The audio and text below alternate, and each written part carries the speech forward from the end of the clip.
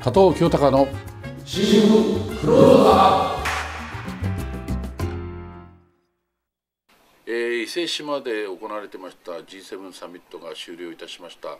えー、初日の討議の中で最大のテーマであります世界経済が話し合われたんですね。それは当然今現在世界中どこを見てもですね景気の状態が思わしくない経済がどうも不調であるということを受けてですね G7 各国がまあ、財政出動を含めてあらゆる手段を講じて、えー、世界経済を引っ張っていこうという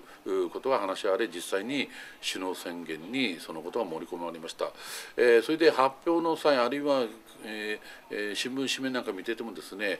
実は安倍さんが財政主導ということで打ち出そうとしたら、えーと、イギリスとかドイツが反対したという反対というか異論を唱えたというんですね。特にメルケルドイツ首相があ構造改革をもっと前面に出すべきだという意見を述べられたというふうに聞いております。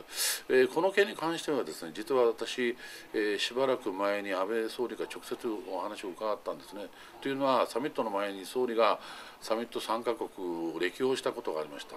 その時にまさにドイツに行かれてメルケル首相と日独首脳会談やった時に安倍さんの言葉によればですねこの件でドイツを説得しようとして10回同じ話をしたら10回目にやっと反対はしないと。言ってくれたというふうに安倍総理はおっしゃってましたのでまあ確かになかなか強固な反対論者だったのかもしれません。それはもうですねドイツ基本法というのは要するに日本で言えば憲法のことなんですが、えー、ドイツはその第一次世界大戦後のハイパーインフレの反省があってですねインフレを非常に懸念するんですね。そうするとあまり財政積極財政を出動してしまえばハイパーインフレにつながるんではないかという反省からその憲法の規定の中でですね、えー、財政出動を厳重に諌めるといいますか止めるといいますかそういう規定があるんだそうです。そのためにもですねドイツはそういうことを積極的にはできないということをられてると思うんですそういう意味では G7 各国の中で、まあ、ドイツとイギリスが若干反対ないしはどっちかというと不同意だったかもしれませんが逆に言えば後の5カ国はですね安倍さんの提案をほぼ全面的に同意されてるわけなんです。で首脳宣言も結局各国がそれぞれの立場それぞれのやり方でえ、努力するというふうな文言に、え、収まったわけですからそういう意味ではまあ大体こういう線は最初から分かってきていていたことだと思うんですね。で問題はですね今度国内で消費税増税来年の4月1日から8%から10%に上げるということが法律ですでに規定されてるんですが、えー、今現在安倍さんの言い方ですると今今現在がリーマンショックの前夜との前に非常に状況はよく似てるんだということをおっしゃって、えー、消費税増税の再延期ですね一度延期してますから再延期ということを強く示唆されたというふうに、まあ、日本のマスコミは全部伝えましたこれは私は自分の持論でもあるはっきり申し上げるとこれ間違いなく10%の増税は延期です。まあ、その期限が2年間なのかデフレ状況から脱出脱却するまでというふうになるのか文言は正式には分かりませんが間違いなく少なくとも来年4月1日からの増税は見送られると。それはなぜかというと今回サミット議長国として、え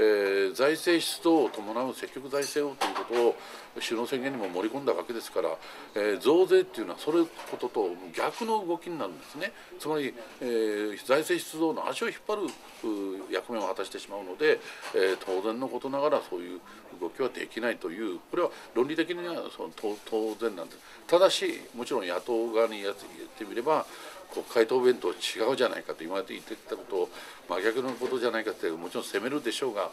まあ総理大臣は言えること言えないことあるし、まあ、何でも嘘ついていいとは私も申し上げられませんけども、まあ、苦渋の決断でですね最後の最後で、えー、そういう本音が出てきたというところじゃないんでしょうかね。ダブル選挙はもうない感じ、ダブル選挙はもうない感じなくてないですもん。えー、一一つにはその、えー、少なくともその消費税増税については与野党とも増増税反対で一致してるから争点にまずならないんですよね。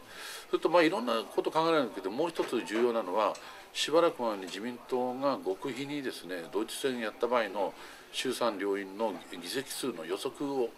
弾いたんです。で参議院の方はそこそこ勝ってうまくいけば自民公明その他大阪維新とか含めれば3分の2まで届く勢いぐらいで出てるんですね。その一方衆議院の方は実は現有で20議席も減るという予測結果が出たんです。そうするとですね、えー、衆参両院で3分の2を確保しようとして同時選挙をやるのに参議院はひょっとしたら3分の2いったけども衆議院は逆に崩れてしまう。だだったら何のために同時選挙やったの？ということになる私はそういうことも恐れたんではないかなというふうに思うしそれからちょっと順番逆になるかもしれませんがやはり熊本地震の後遺症後遺症って言い方おかしいですけど復興がですねいまだにまだあななってないそういう時にですね選挙やってる場合じゃないでしょうという地元の意見はですねこれは相当やっぱり、えー、強く出てると思うんですよ。そうするとこれが熊本だけの話じゃなくて熊本でそういう状況があ日本国中でも同じような意見が皆さん持つわけですつまり反感を買う可能性があることですから、まあ、今回見送りましょうというふうにおそらく結論になったと思うただし同時選挙はなくなりましたけど年内に衆議院選挙単独である可能性はあるんですよ。まるまる何もないっていうわけじゃなくてこれは今度はどのタイミングか秋の秋に臨時国会を招集して、えー、そこで